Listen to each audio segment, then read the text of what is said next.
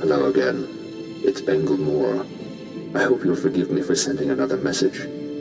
The masters say talking about my feelings is good. Whether or not you watch these recordings, making them fills me with peace.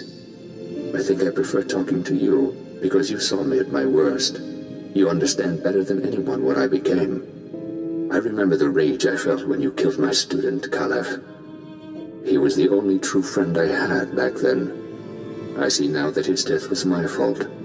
I led him to the dark side and forced you to kill him. That's a hard thing to live with, but I have to try.